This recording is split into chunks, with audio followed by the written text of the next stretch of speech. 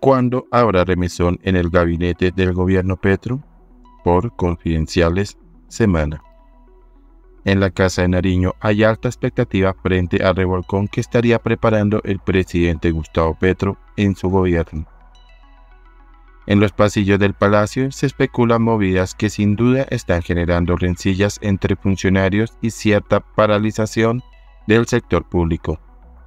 El mandatario está en Alemania y se espera que esta semana, cuando regrese a Colombia, mueva su equipo de colaboradores, entre ellos a viceministros y directores de entidades descentralizadas. Laura Sarabia acompaña al jefe de Estado. ¿Logrará llegar al DAPRE y desbancar a Carlos Ramón González?